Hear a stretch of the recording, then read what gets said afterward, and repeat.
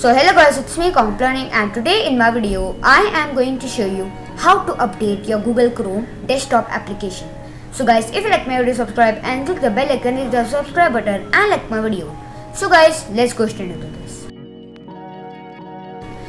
So now, I will go to my, to my Google Chrome, go to the start, Google Chrome, select your profile.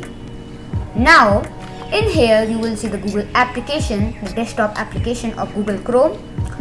Now you have to click on these three dots as you can see. Now uh, clicking on these three dots near the address bar and the profile section, you have to just click on the settings option and here you will see the settings. So now in the settings tab, you have to go to the about Chrome in the left on the bottom and here you will see the about Chrome, the version, the official build and the bits of your computer.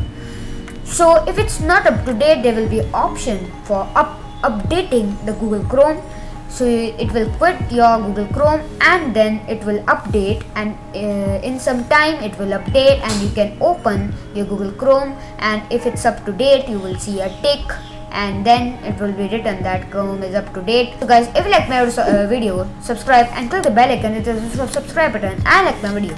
So guys, take care and bye for now.